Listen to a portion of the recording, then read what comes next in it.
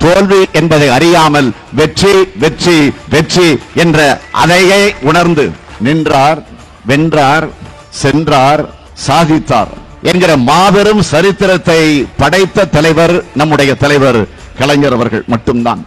வேலை வாய்ப்பு உருவாக்குவதில் பிஜேபி தோல்வி தழுவிருக்குன்னு அதை மறைக்கக்கூடிய வகையில அறிக்கை தயாரிக்கிற அந்த அதிகாரிகளை அழைச்சு இப்படி எல்லாம் தயாரிக்க கூடாது என்று மிரட்டப்பட்டு இருக்கிறார்கள் மாற்றி வெளியிட்டு இருக்கிறாங்க இதை கண்டிச்சு தேசிய புள்ளி விவர ஆணையத்தில் பொறுப்பேற்றிருக்கக்கூடிய தலைவரும் உறுப்பினரும் பதவி விலகி இருக்கிறார்கள் உண்மையை மூடி மறைக்க சொல்லுகிறார்களே இது நியாயமா என்று கோபத்தோடு ஆத்திரத்தோடு அவர்கள் பதவி விலகி வெளியில வந்திருக்கிறார்கள். அரசியலமைப்பு சட்டம் அங்கீகரித்திருக்கக்கூடிய அமைப்புகளாக இருக்கக்கூடியது எது எது? சிபிஐ இருக்கு ரிசர்வ் வங்கி இருக்கு உச்ச நீதிமன்றம் இருக்கு திட்ட கமிஷன் இருக்கு புள்ளி விவர ஆணையம் இருக்கு வருமான வரித்துறை இருக்கு தேர்தல் ஆணையம் இருக்கு அமலாக்கத்துறை இருக்கு.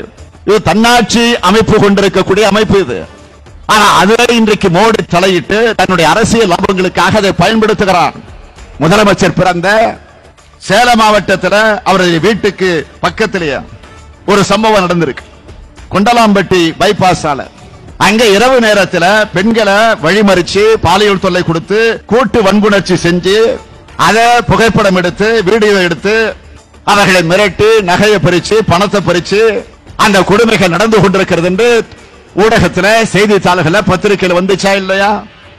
சட்டம் ஒழுங்கு சரியாக இருக்கிறது இருக்கிறது என்று புலம்பிக் கொண்டிருக்கிறீர்களே ஒருவராக போய் என்ன சட்டம் ஒழுங்கு இது குடநாட்டை பற்றி ஸ்டாலின் பேசக்கூடாது எடப்பாடியை அதில் மிங்கிள் பண்ணி இணைச்சு பேசக்கூடாது.